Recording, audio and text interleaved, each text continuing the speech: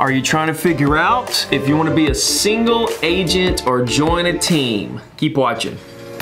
I want you to know that this is my life. This is real. Relationships are universal.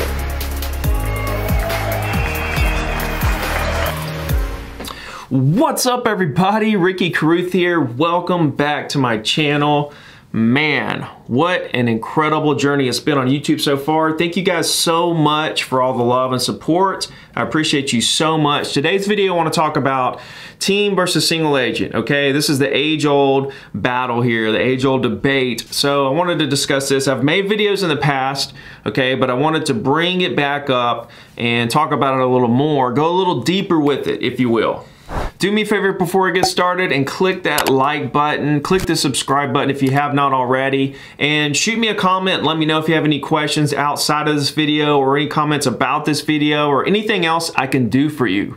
So this subject got brought up on a live stream on Instagram the other day. Okay, they were asking me about single agent versus team, and it was actual team leader that brought this up. And the question was, Ricky, how do I coach my agents that's on my team and at the same time keep my production going at the level that I want? This is an incredible question. I love this question and it's a debatable subject. It's a debatable topic for sure. Okay, there's a lot of people that believe, you know, one way or the other. All right, it's kind of a polarizing kind of question here but I'm a single agent, okay? I always have been. I try to do a team one time, once upon a time, uh, it was 2012 or so. I went through about 20 agents, I believe. Maybe it was 12. I think it was 12 agents over the course of about a year and a half. And I finally just called it quits and went back to being a single agent, went all in on my clients, went all in on focusing on my sales and my assistant and me and my assistant working as a team to, to sell as much property and help as many people as we can. And the same reason why I decided to go back to being a single agent is the same answer to this question. It's really extremely difficult coaching agents on a day-to-day basis that are there physically with you and maintain your sales that you had going as a single agent with no distractions, with no agents asking you questions, with no agents, you know, trying to figure this and figure that out, coming to you for every little thing, you know, training sessions, all the things that go into being a team leader.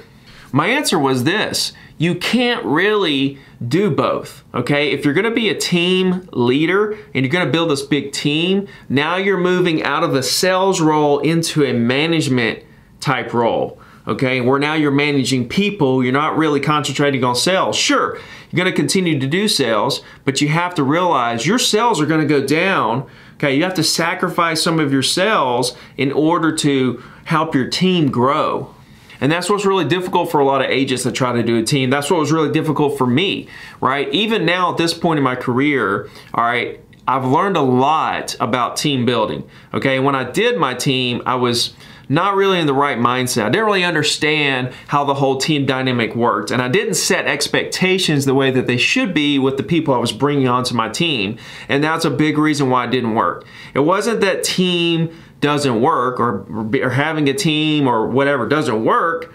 It's the fact that I didn't do it right because I didn't know exactly what I was doing. Now I understand a lot more about it.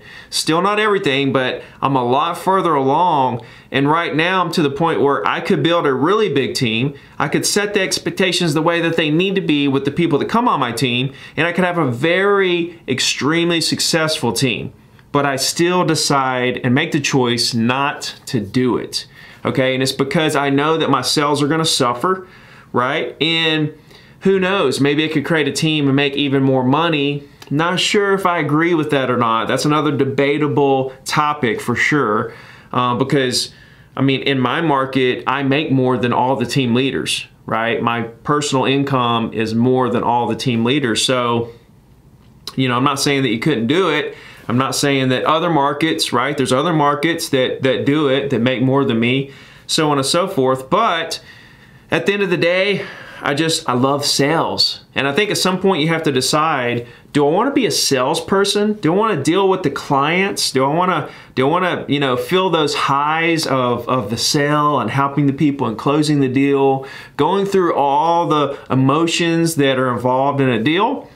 Or do I want to be more of a manager, right? And manage people and, and build my business that way. And I think it's just really a personal choice that you have to make which direction do you want to go?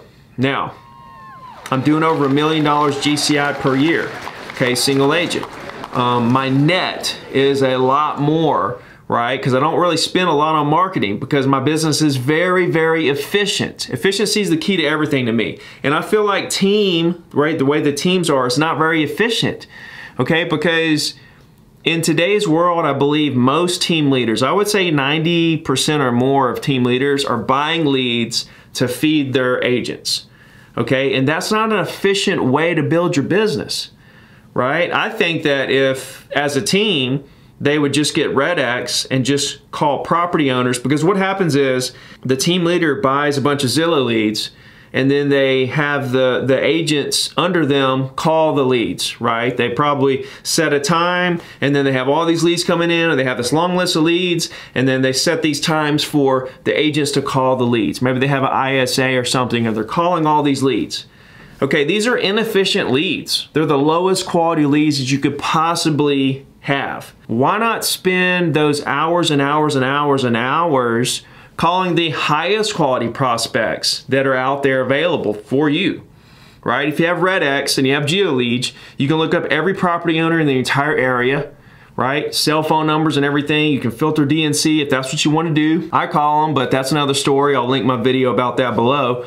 But why not call the most efficient leads possible and have an ISA just calling property owners one after another instead of spinning your wheels on all these buyer leads that are really expensive, that are really low quality. You hear what I'm saying? That's all a completely different subject. The way I would build a team, if I were to build a team right now, is I would set expectations with those agents coming on. Okay, I would understand that my personal sales are gonna drop. Okay, it's gonna take me a long time to get back to the same income. I wouldn't buy leads at all. I would have them calling the most efficient, most effective leads possible, which are property owners that own the type of property that you want to sell. And all a team is really is a bunch of single agents that are crushing it, you know what I mean? That's why I say to team leaders, you know, look, here's my coaching program, but you're a single agent, Ricky. We're a team. Yeah, but if your team members, if the agents under you understand the principles that I'm talking about as a single agent, you're going to crush it much more.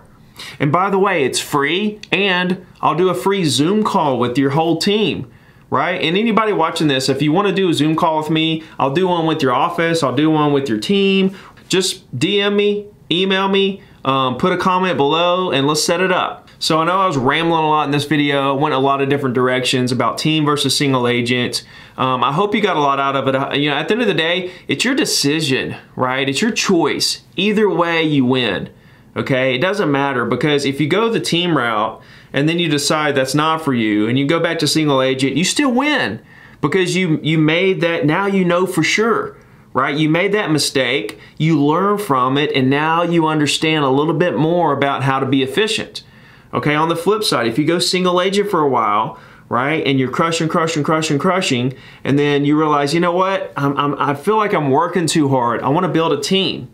Okay, that's where a lot of people get in trouble is when they feel like the team is going to help them step away from the business, right, or work less, or not have to put so much effort in that's where people get into a lot of trouble okay and this is where i think the team concept is you know, missing a few, you know, links because you're actually more than likely going to be working even harder, right? Making less money. So think about that really hard. Think about what I'm saying. Um, reach out with questions and let me help you through this. If it's a big decision for you, I'm here for you. Reach out and let me know.